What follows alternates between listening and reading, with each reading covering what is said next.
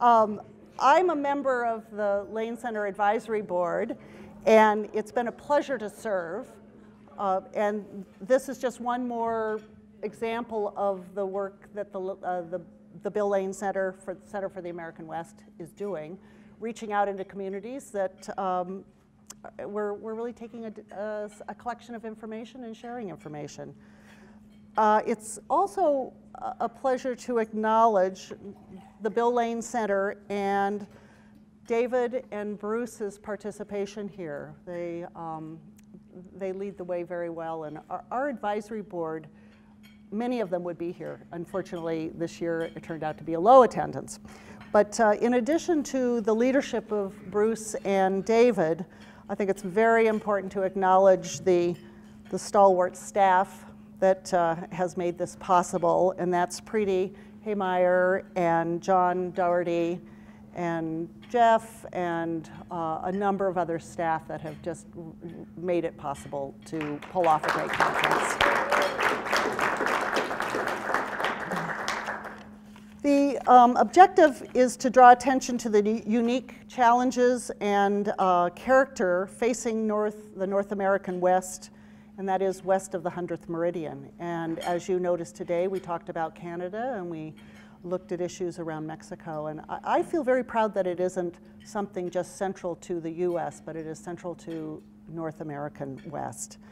And the, the center taps into the realms of art and culture and economy and energy, environment, history, and uh, topics that matter to all of us. Provides interdisciplinary approaches, and we saw that today. And it allows for discussion and disagreement and, and uh, controversy, and I hope it always holds those values high. Um, although Hope couldn't be here, the Eccles family has been instrumental in, in underwriting this particular conference, and we did get a glimpse of her on the video that Phil showed earlier.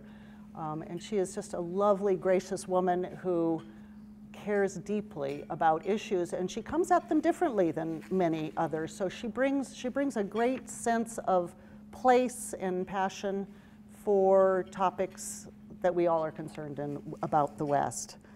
Um, it's also a pleasure. We have a, a special guest tonight who will tell you what she was doing today so she couldn't sit and listen to us discuss wildfire, but she was um, she will give her own personal description, but it's a pleasure to introduce Hilary Franz, who is our Commissioner of Public Lands.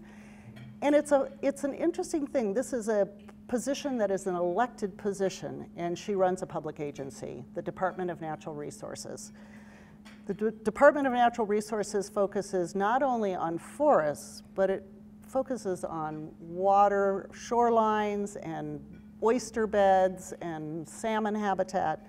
It's a big, complicated agency that um, has many roots in this, in this region, of course. Prior to being elected, she was the executive director of, a, of an organization called FutureWise, which I think originally was a Thousand Friends of Oregon, and then a Thousand Friends of Washington, uh, which addressed, probably for the last 20 years, uh, the organization has addressed transport, sustainable transportation and land use policies. And she was, um, prior to her election, she was the executive director. She led it when Washington, the state of Washington, was in huge growth. And uh, she navigated collaboration with local governments and private stakeholders and environmental groups, and that's the very subjects we were talking about today. So you're already up to speed.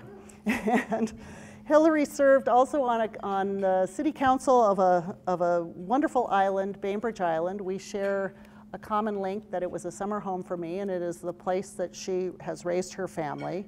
She graduated from Smith College and her law degree is from Northeastern University Law School. Um, Jerry and I have gotten to know Hillary through her campaign um, and are just thrilled that she is leading an old school institution into some new ways. And I think it's a real challenge. And I'm hearing on the ground because of local engagement with a community forest that is owned by the Department of Natural Resources, is that she's getting a lot of credential by her staff. And I think that's a real tribute to somebody coming in from uh, a unique background that didn't come up through the roots of forestry and managing forests and um, working with firefighting. So you, the word on the ground is good work. Um, the only other uh, thing I would say is that she has the opportunity to bring inspiration to um, a lot of people, not only because of being new at the Department of Natural Resources, but she brings a sense of humor and energy and uh, a fresh way of looking at things. And, and I think you'll see that tonight when she speaks. So she's setting a new standard, and I'm very excited to, that we get to see her in action on a regular basis. She is the mother of three sons, and we also share that. So I, I understand um, it's, a busy, it's a busy life with three sons. And uh, it's just a personal pleasure, and for the Lane Center, a pleasure to introduce you, Hillary. Thanks. All right. Well, first of all, thank you all for the opportunity to be here. Um, they told me to tell you what I did today. I will tell you right now, my staff will, in a way, my staff, 20% are women, 1,500 organization. I gotta just say, it is so nice to see women in the audience because I never get to see any of you. and I went to all women's high school, all women's college, so for me, it's like a new era of like a very male dominated field that I'm in. But a lot of my staff tends to look after me like, we gotta take care of her, we gotta keep her alive.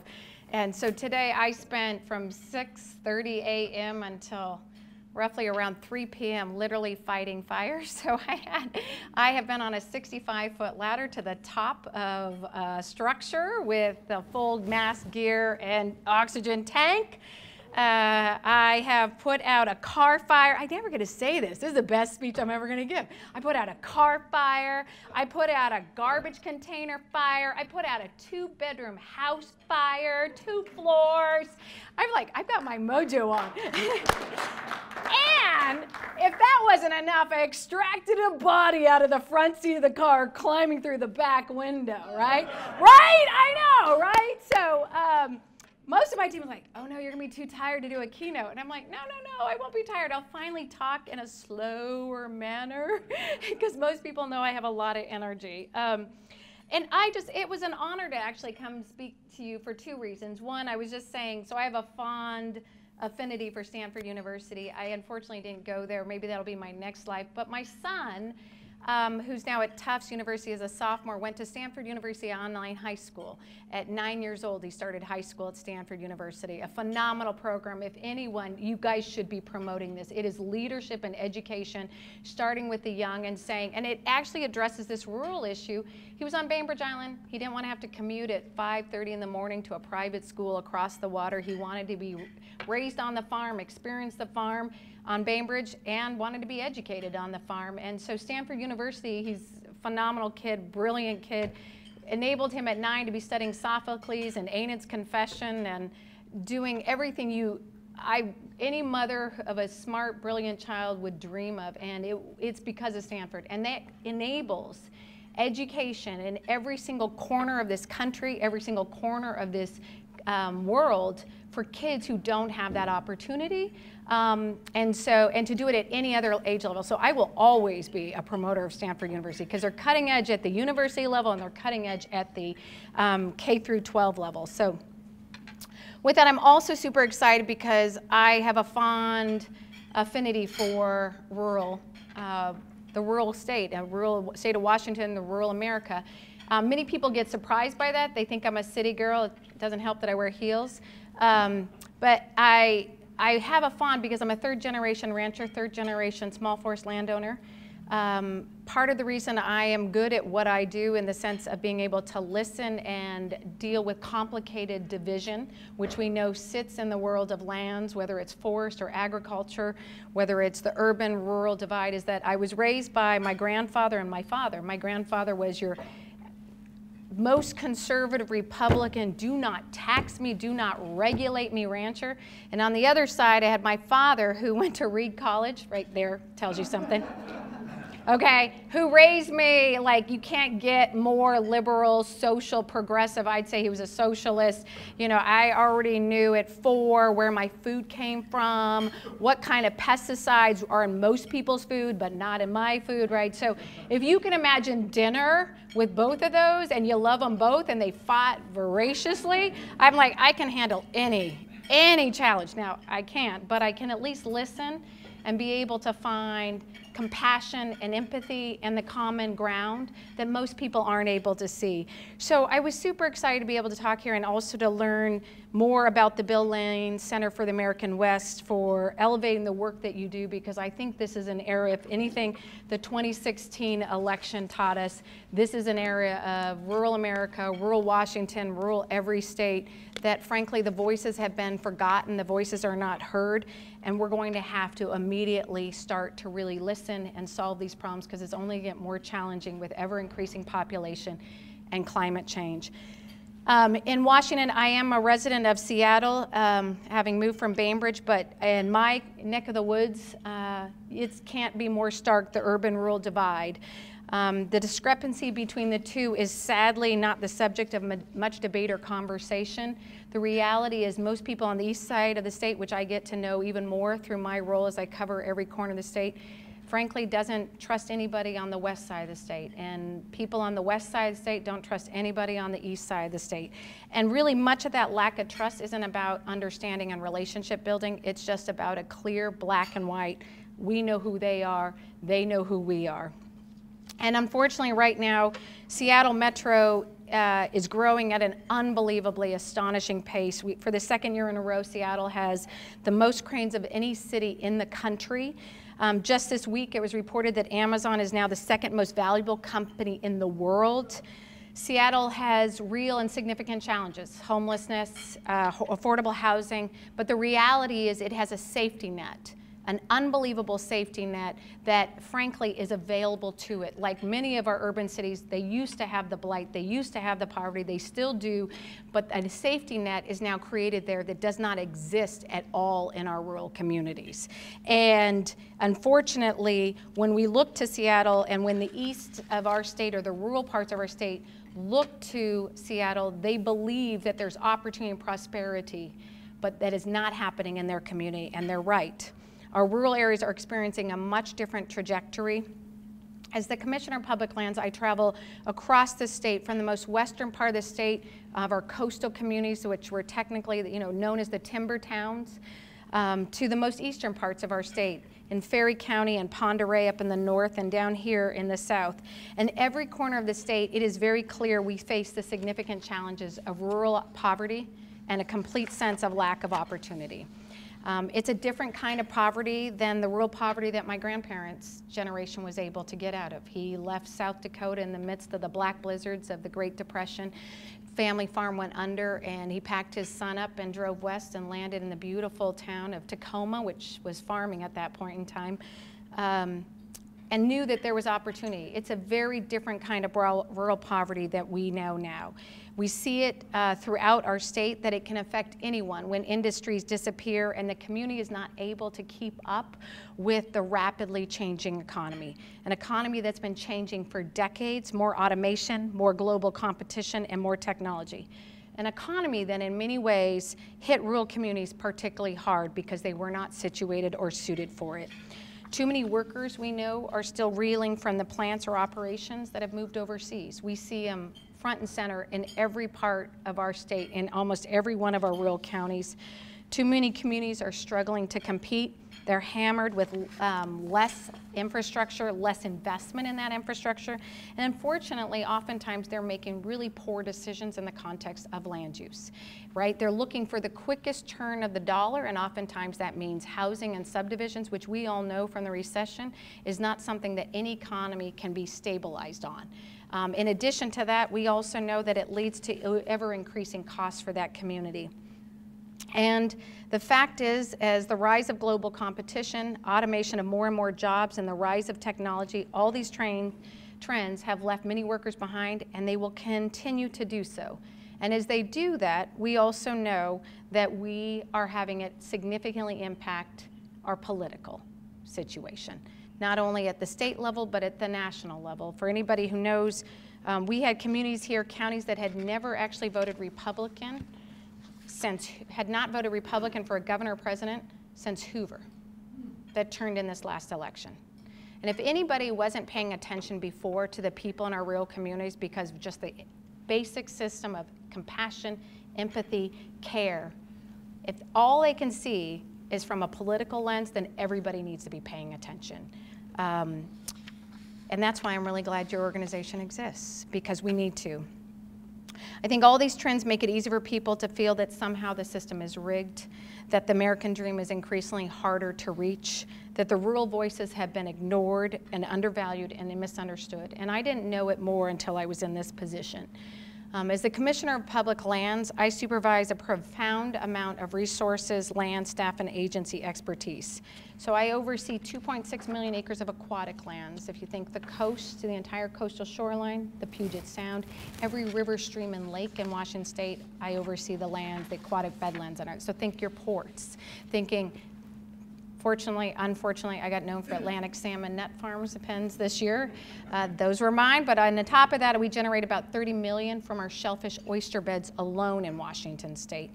Um, we also uh, manage 2 million acres of forest land that, uh, and a million acres of agricultural land, and then a significant portfolio of commercial and industrial land that generates $325 million for our state alone. Um, and about 125 million of that goes to our schools. And many of our schools are ones that are significantly challenged and don't have the capacity or ability, like in Seattle and other communities, to raise their levies. And therefore, they struggle for every single dime they can get. We also fund the other portion of that $350 million for our counties um, in Washington State. And to give you a sense of the value of the dollar we generate over the management of our lands, King County, we are 0.08% of their budget. King County is where Seattle is. It's the largest county population-wise and economic-wise in the state of Washington. In many of our coastal communities that were hit by the spotted owl and other challenges like that, we used to represent 80% of their operating budget alone. We're around 40%, and there was no backfill of the other 40%. And I can say the same thing out into many of our communities where much of our agricultural lands is largely for grazing and generates pennies on the dollar for an acre.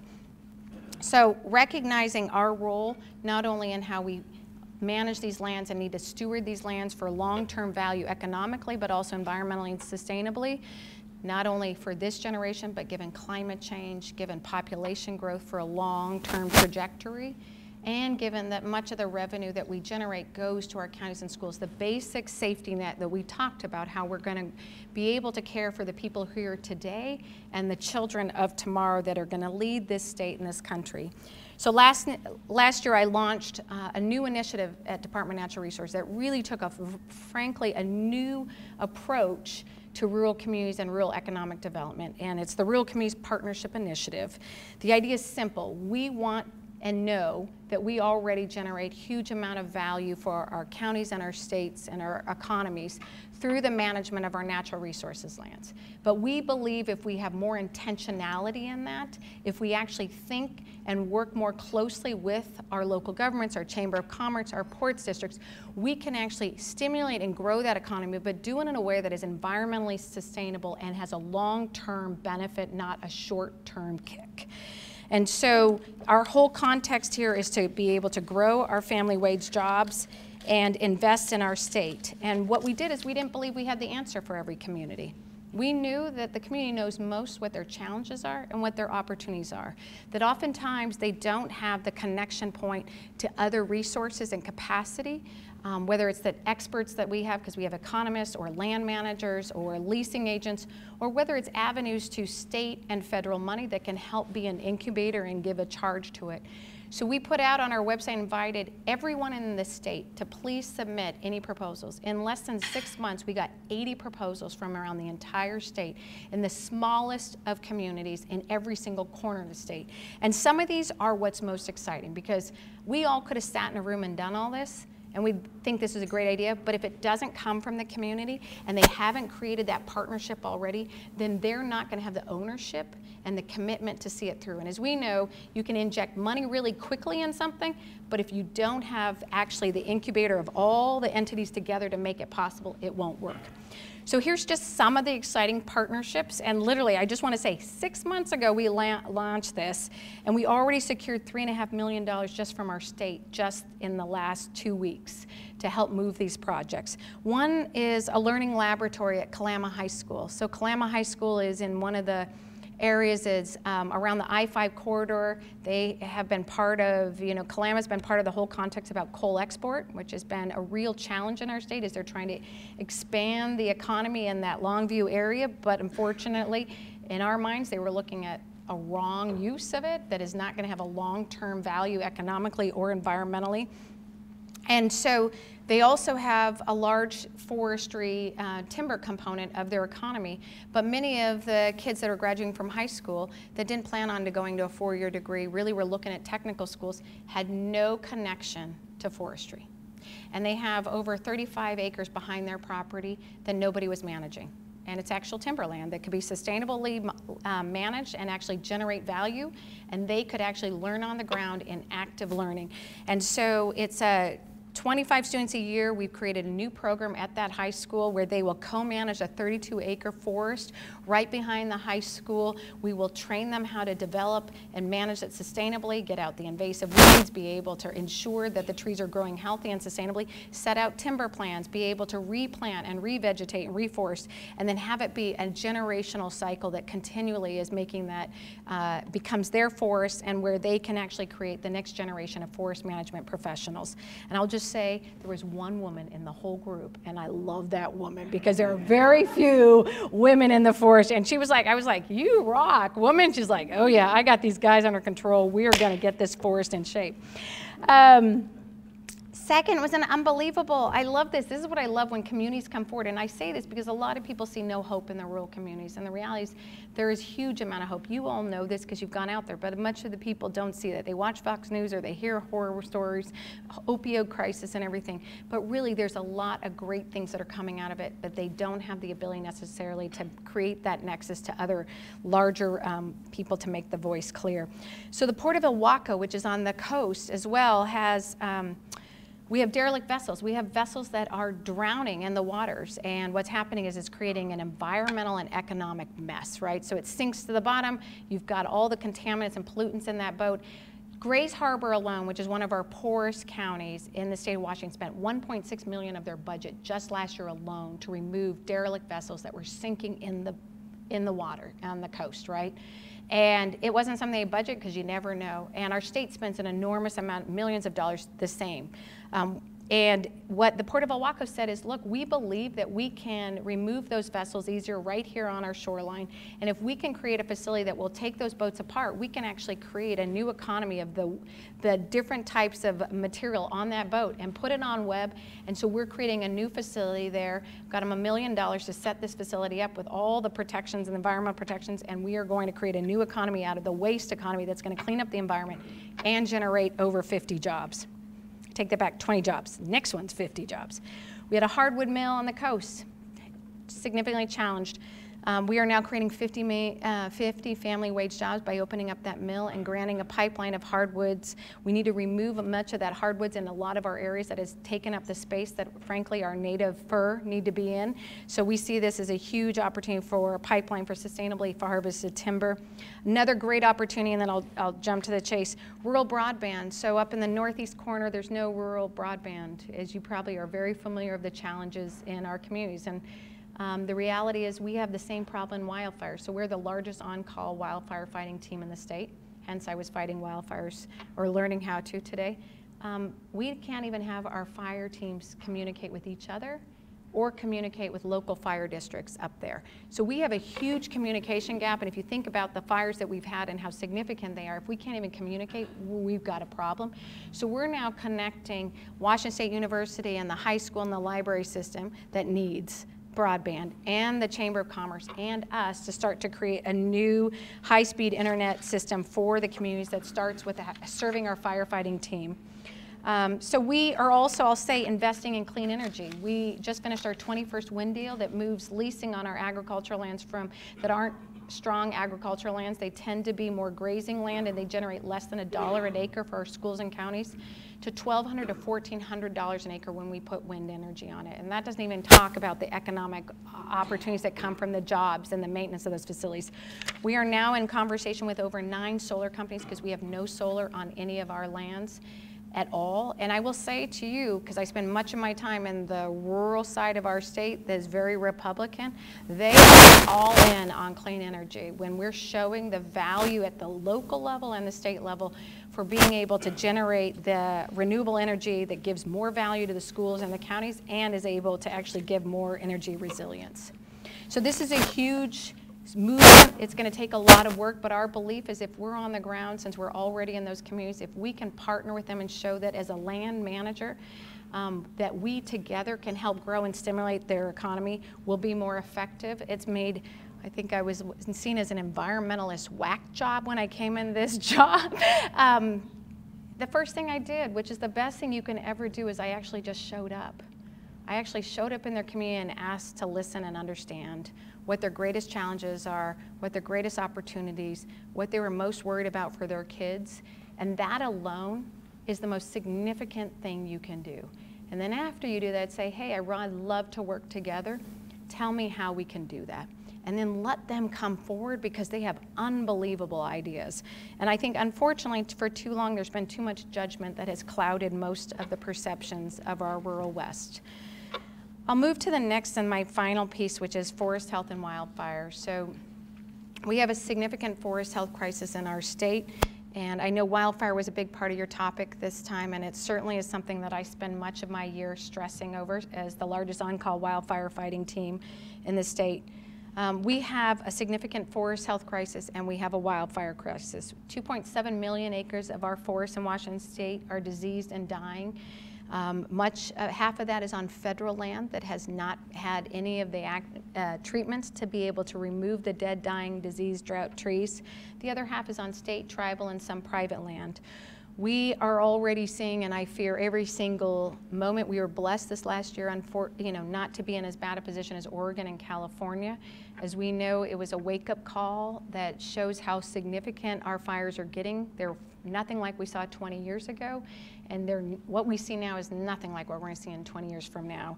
And we've got to get on top of this problem. So this last year, I de we developed at our team a 20-year forest health plan for Washington State that has us treating 70,000 acres a year. Um, through me mechanical thinning and selective thinning and prescribed burning. Um, it's a scale of forest treatment that has never been attempted in our state. I don't know about others, but we are very far behind many other states, and much, one which we need to immensely scale up for. Um, right now, we frankly don't even have enough foresters to actually treat 70,000 acres a year. You see an economic job opportunity? I do, right? Um, we also don't have the training in prescribed burning, which is a significant piece that we need because much of that left when people stopped doing it here. So the vast majority of, here's my other challenge, the vast majority of my on-call firefighting team, it's over 600 people, sometimes 800 in a bad season, are not actual full-time firefighters. I only have, as the largest on-call firefighting team in the state, next to the federal government, and the local fire districts, I'm even top them, I only have 43 full-time fire fires to cover this entire state.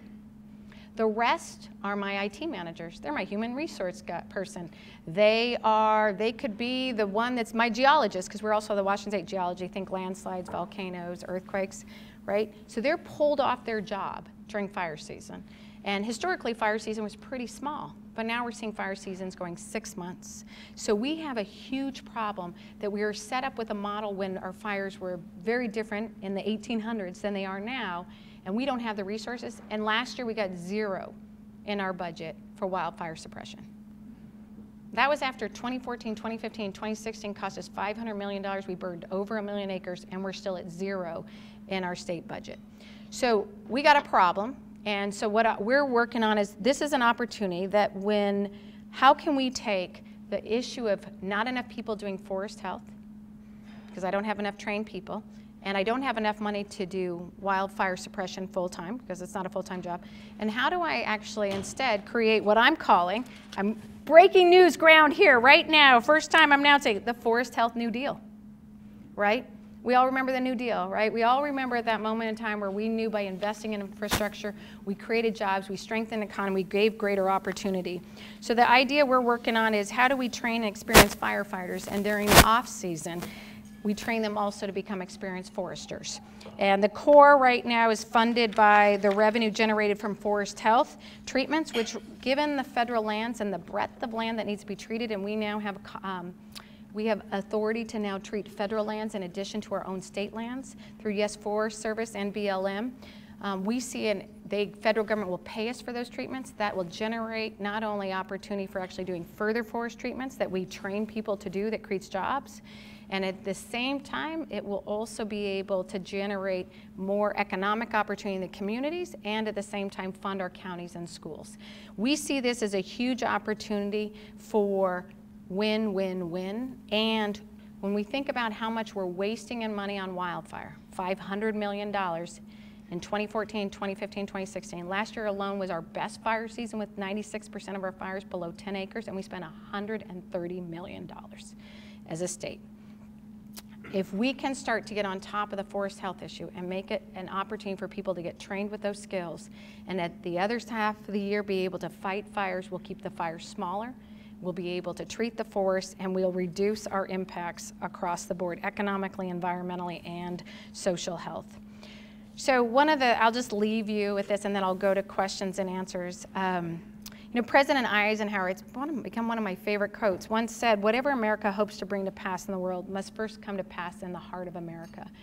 And when I think about the heart of America, I think about my grandfather and I think about the land that he worked um, from the time he was a small boy. Um, in so many ways, from the resilience in the face of challenges like wildfires, drought, and a very changing economy that's not keeping up with our rural communities, to the fact that our rural communities are truly going to be the place we absolutely are going to depend on from growing the food we eat and the wood that houses us and caring for the lands and the clean water that we all depend on. Rural America truly presents that beating heart. It's our beating heart. And that's why these communities are so important. It's because when America's rural communities are healthy and strong, it's true that Washington State is healthy and strong. It's true that America is healthy and strong. It's true that the context of alienating or judging can be removed and we can move to common values. It's true that we can start to make decisions that aren't about one part of the state versus another part of the state, but start to make decisions that is about our state as a whole and frankly the children that are going to inherit this state from us. And everything I say about our state is directly applied to obviously our nation. Um, the one thing I know, and I started with the context of common values, my grandfather and my father and the common values that they always knew that bound them and it bound me and it's what I was grown and raised in with is a faith that hard work and responsibility and persistence and a belief in caring for everyone will lead to a greater place not only for ourselves but for our children. And I truly think that we have lost that compass and the best way we start is to actually go out and meet our neighbor, not the one right next door to us, but the one across from our state from us, the one in the most foreign corners of our state or our country, and just ask to have coffee with them and get to know them and listen. And when you do, you're going to make some of the best friends. And I tell this to the most urban crowds because many just have created a block of judgment. Um, we've got to start to assume the best in each other, not the worst we got to remember that all of us have fallen on hard times at different points, and every one of us, our job is to pick every other person up and give them an opportunity to succeed and not fail. And in doing so, I think rural Washington, rural America, rural California, rural Oregon, rural Midwest is going to become the shining star that we all need and depend on because they feed and provide for us. So thank you.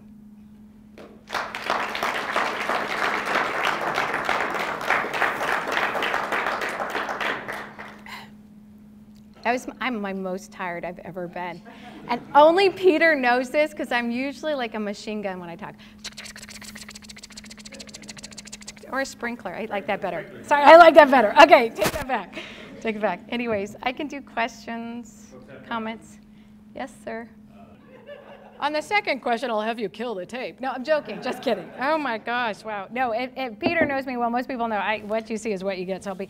So I. Um, so with Sally, I mean, thoroughly impressed. I have to be honest, what I'm most impressed by was her plan and the strategic plan. I have not gone through and evaluated the full measurement of the implementation of that and have not looked in thorough diligence of that. Um, I also, uh, so I wouldn't be able to say that. I think she's an amazing woman who stood for the right values and really did try to reach across the aisle and reach into the communities, um, knowing that her landscape was pretty significant. And I was impressed by the context of valuing recreation and also valuing clean energy opportunities within that context and trying to move people to a new approach. On the marijuana. This is, you know, it's interesting. So it, eh, eh, this is coming from somebody who literally did not see pot for the first time until two years ago, and not so I could smoke it. I'll make that clear, but because somebody in my office said, how could you be as old as you are and never seen marijuana, okay? And I was like, okay, well, the truth is, I wanted to be a politician at nine. And so I made a clear thing I was never going to break a law, do a drug, right? And so obviously it was before Clinton and during Clinton that I was saying all this because it's a whole new world. But with that being said, um, I don't come with a propensity for marijuana. Uh, and um, it's obviously something that's now growing in our state. And people are raising this question about, okay, what about growing uh, marijuana? We actually have a divide in our agency. Um, I would say to you right now, for me, I think we could be doing far more and growing far more better value crops personally to feed our people with it with, that we need to um, than doing and growing marijuana. Hemp may be something that I'd be interested in focusing. I clearly am bringing value judgments into this. Um, and um, just because of the value of hemp for being able, everything we know, from paper to clothing, right? Um, and we haven't looked at the full return on that. Um, I will say separate from that, which I have not dived into much, there's a big discussion about actually whether marijuana farming is working here in Washington state. And I don't, I I have a much bigger job, so I have not spent any side time reading about it, but a lot of people are raising the question about whether growers can actually succeed here. And since everything we grow here is to feed the next generation, their academic and also their hospitals and libraries, and there's a, for me, I want to make sure we're creating a sustainable crop that actually feeds our people first. Um, so, yeah. And you're losing half of your revenue on marijuana to the gray market coming from Canada. That's what I figured. So. I'm not interested. And if you have more information so I can keep those people behind me going, hey, what about this? I'd be happy because then I can shoo them even farther. But yeah. Yes? So you kind of zoomed by this topic, uh, but what the crowd may not know, but maybe you heard in passing is that one of the things that Hillary uh, inherited was this uh, Atlantic salmon farming operation off the coast, which had a massive uh, uh, hundreds of thousands of Atlantic salmon got released in the Pacific Ocean. And, and I'd like you to just talk a little bit about the values behind your decision to shut the thing down, because it, it's a pretty yeah. yeah, so just so everybody understands, the 3 million acres of uplands that I manage is um, all of the funding is largely in a beneficiary model. So I manage as a fiduciary obligation to our schools and counties, right? So I've got to show, and then I also have 150,000 acres of recreation land. So we're really, we're the second largest recreation land manager, second to the federal government. So I have a huge recreation and we obviously are growing and stimulating that economic side. So I don't want to pass by that. In the aquatic lands that we manage, all of that revenue goes to um, ensuring public access for people to the waters and um, fish and habitat restoration. Um, and so it's a very different, a very different sort of focus. Um, still, environmental sustainability goes across all of those for all the reasons we know.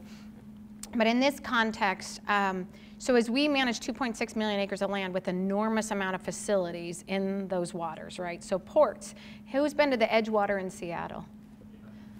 So we don't actually just lease that facility, we actually own it. So I'm the on behalf of the public of Washington State, the owner of the Edgewater, and we hire somebody to run that hotel. Um, so I give, right, so the Seattle waterfront is all the aquatic lands, we manage all that. And so you can imagine we have an enormous amount of infrastructure that is in those waters that creates sometimes negative impacts to the environment and fish and wildlife habitat, and sometimes positive. Um, in that, like any tenant, and I inherited an enormous amount of leases, as you can imagine. Some of these go back to the 80s and the 90s. Um, there's obviously a, a, clear statement in there that says you must manage these and, and keep them in safe and good working order for the obvious. Because when you don't in the context of atlantic salmon which um, you obviously we had hundreds of thousands of atlantic salmon that were released into the puget sound. They've been found all the way into canada all the way south down in, down into olympia and even farther. Um, an enormous amount of question about the impact that this would have on our Puget Sound, on our Pacific salmon, which are already dying a death by a thousand cuts. Um, there's still a lot of science that is unknown out there, and then there's a lot of science we do know. For me, my number one responsibility is that I truly believe if you are going to lease the lands from a public agency with the responsibility of steward those and manage these on behalf of the public, not just today, but in the future, that that is an honor it's an honor to have that position to lease. And as a result, you need to hold the same values we hold, which is about managing those facilities in good, safe working order that will not threaten the future of our native populations and our fish and wildlife habitat and our waters. And so um, we took action on two facilities that were in clear violation of those leases. Um, I will say that this has raised a full, you know, I'm one year in, it's raised a very clear uh, thing for me about how many other leases on those 2.6 million acres of land, going back into those leases and looking at how are those other facilities, not just necessarily Atlantic salmon, but others, maintain their facilities to make sure there isn't harm. Because obviously we have oil container ships, we've got cargo ships going outside of ports and facilities. So, yeah. Yes, Martha. Uh, we, we had some conversation around the, the rural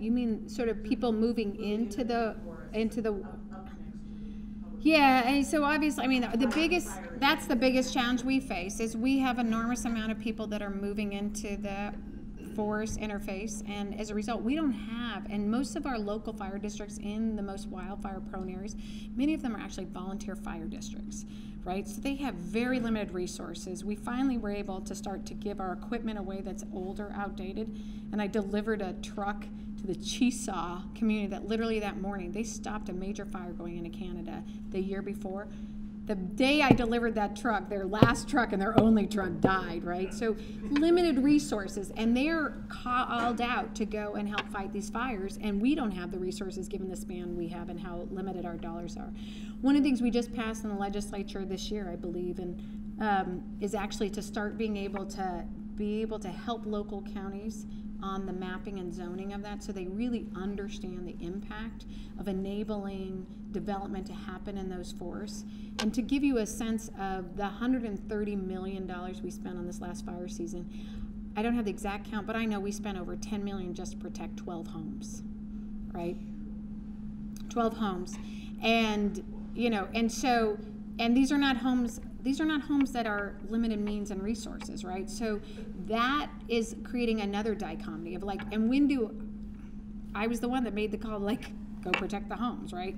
When do and these are these are not decisions that are easy to make. And I certainly wouldn't want to be the one that says, no, I'm not going to take steps to protect your home. But we aren't necessarily paying fully for the cost of having the homes in. And we've got to create a new approach to that too and address that. Yes. On a much lighter note, in 1972, I investigated the health conditions at Neal Island at Federal Penitentiary, and I remember the clams on the other side of the island. Is that under your rubric to monitor the clam production on Neal Island? I bet it is. Peter probably knows even better. I'm still getting this whole territory, but yes, we have we manage an enormous amount of leases of shellfish, and I'm sure that is one of ours. Um, and I'll, I'll give you just to, to thank you. I'll you know I'll give you guys something that's interesting. Most people don't know too. So we actually um, we hire um, people in prison to actually help fight our fires. We are, I was just out in Spokane just last week for a forest health treatment on state parks that we're doing, um, where we hired people in prison to do that work. Um, and actually, the wood product that went, we took that and then we were giving it to the SNAP program so that for low income housing, so they have wood during the winter, right? And so we, and I actually have hired people who came out of prison and now have been trained. They might have been trained to fight fires, they might have been trained in forest health, they might have been trained in dispatch, um, that are now working and have the technical skills. So, you know, there's a whole connection here to the work we're doing. First of all, one thing I already know that if you're locked up in a cell all day, there's no way you're getting a healthy body or a healthy mind or a healthy spirit.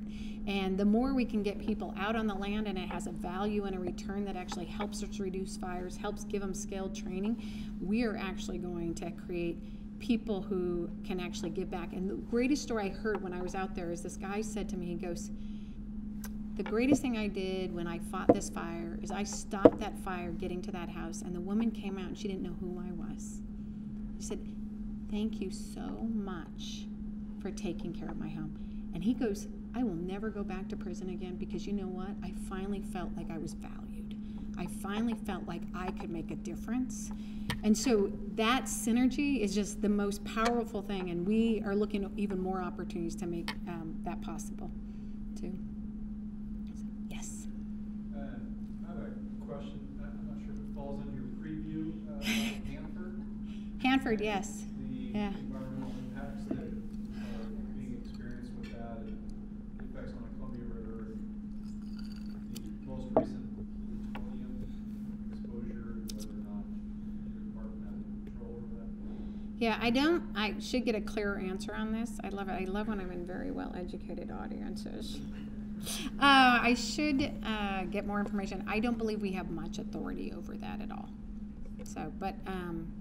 obviously, I think there's always a downward, the water and land, there's always a downward component, as we know. So, we are probably somehow impacted for sure and could have a voice too. Yeah, go ahead. Um, question about, uh, following up from the Sutherland Canyon fire and the proposal to have Rangeland Fire Protection Association in the state, twenty-five sixty-two, make it to the legislature. Uh, my good friend is the operator, owner and operator of KB Ranch, and so she's really pushing that. Oh, yeah, yeah, yeah. Yeah, yeah, Molly. Um, and so I'm, I would push that as well. Uh, Where do you think that's gonna go in this next legislative session? Is that something DNR will help support?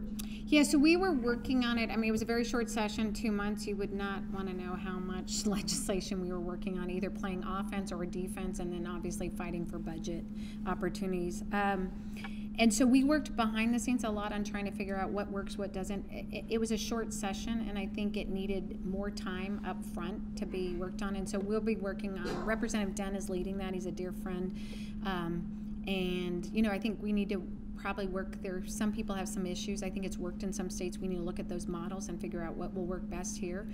Um, I'm a big believer. When I came in this agency, there was a lot of a lot of concern and question about letting home landowners be able to manage and treat their own land right from fire and a lot of it was trying to figure out how much was truth and right and how much was lore right? You know a lot happens on the fire right?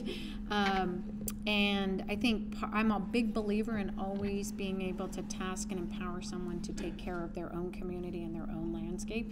But we want to make sure they have the resources and the training to do that and they're also that we're coordinating our efforts as well as possible so that um, everybody stays safe And uh, a follow-up to that really quickly, uh, with thirty years on our local fire district, I Yeah, have to say thank you.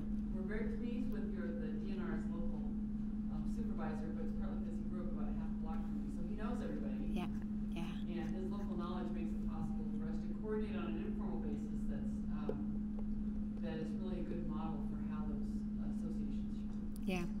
Well, and one of the things that, uh, so the agency had become, my sense of it, based on what I'd heard, is very much turned inward and taken a risk averse approach, you know, and I think government is always faced with enormous amount of challenges, limited resources, and a lot of competing demands and pressures.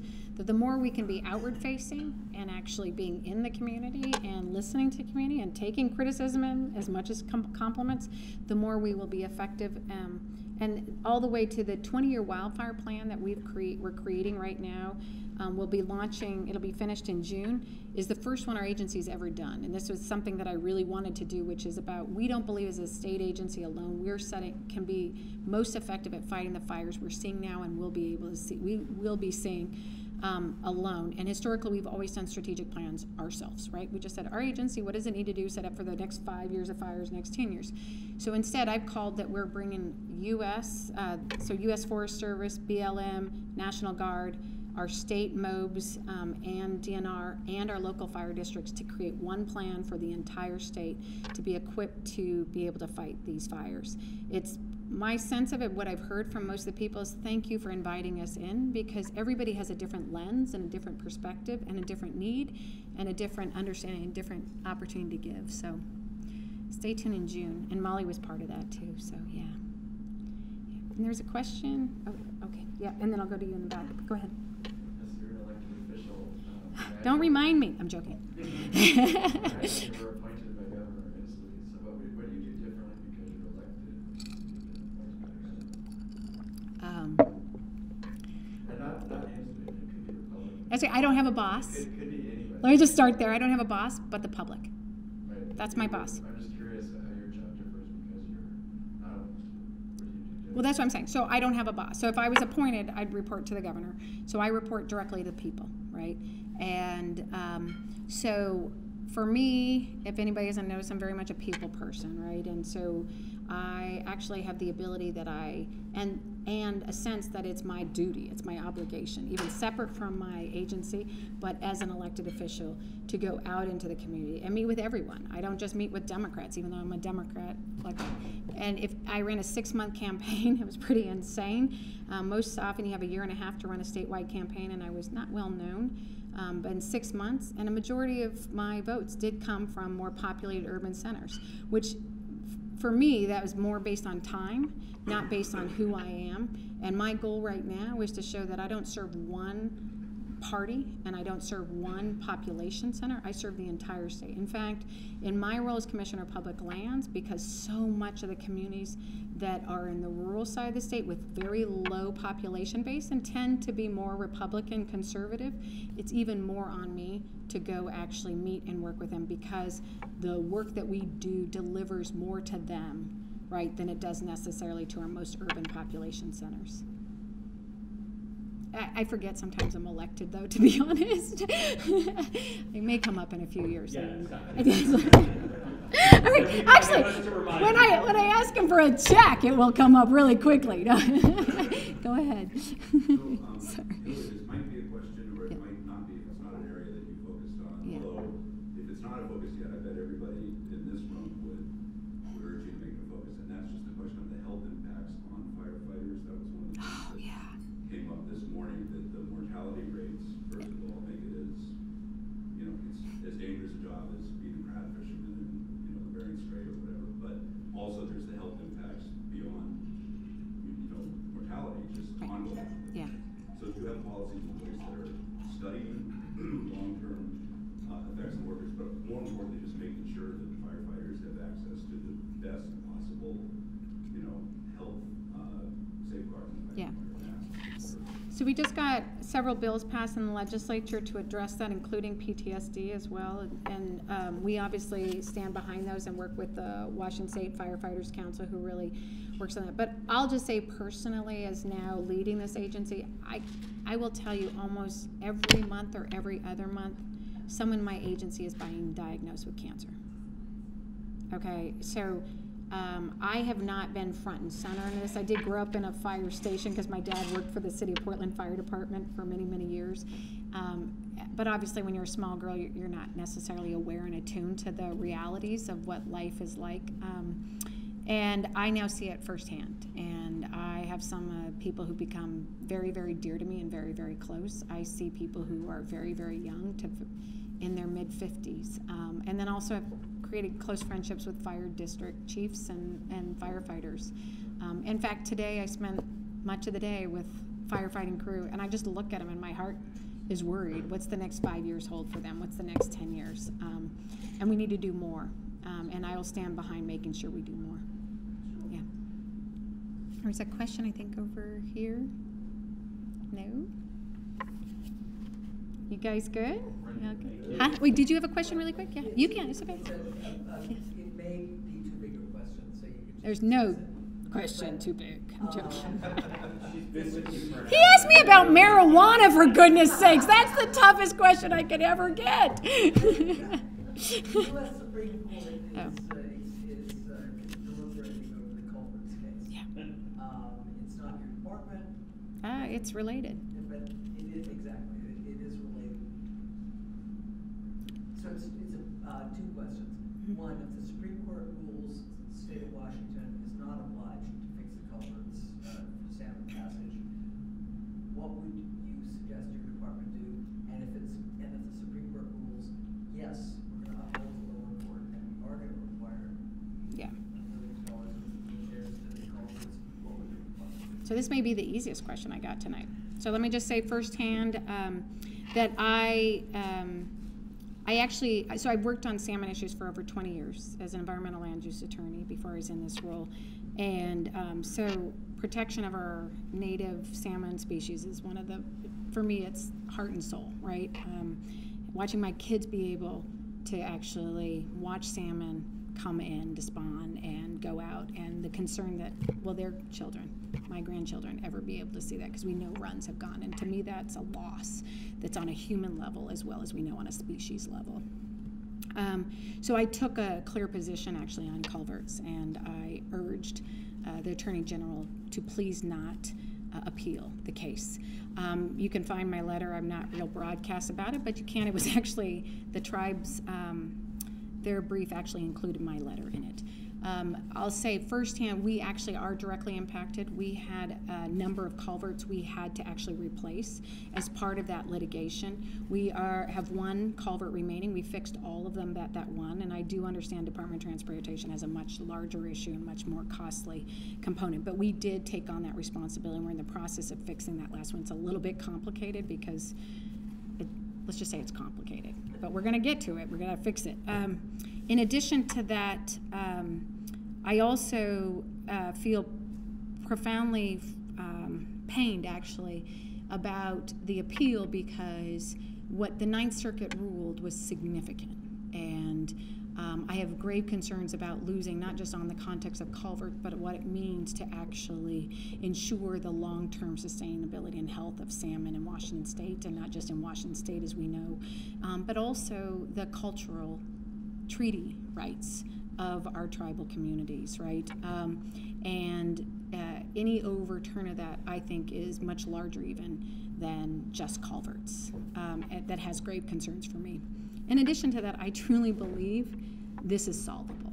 It frankly is solvable. And I'll just say personally, in 2015, we took on Washington State the largest transportation package in our state's history, $32 billion, I believe, if I'm not mistaken. Um, we had an opportunity, we obviously use it by leveraging and, and increasing the gas tax.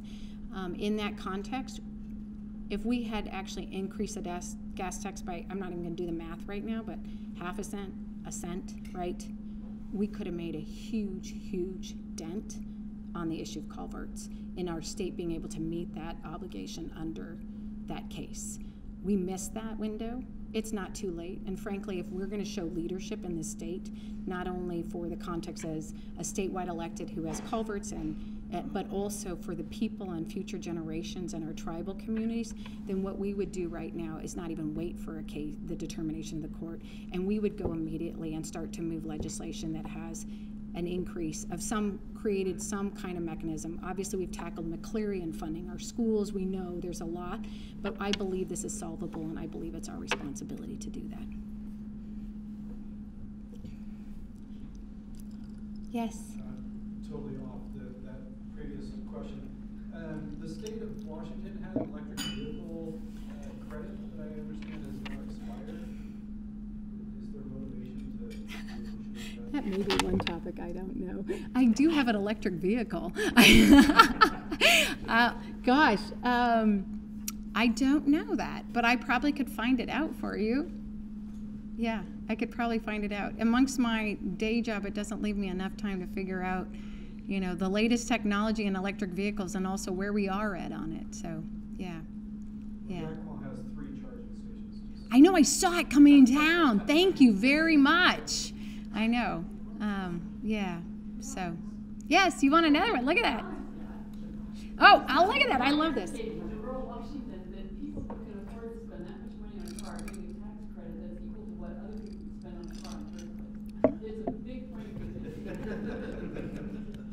And I would say to you, one of the things on the carbon legislation, right, initiative, we, one of the things we really focus on, and I urge, is that focus on our rural economies and our natural resource lands that are most impacted, and making sure any carbon legislation or um, initiative passes really recognizes that, that it's not just going to electrical vehicles, because it's not going to necessarily help in the larger scheme. Um, and also the challenges we need about making our communities more resilient, which lies right in our rural communities especially. So thank you for the opportunity to be here.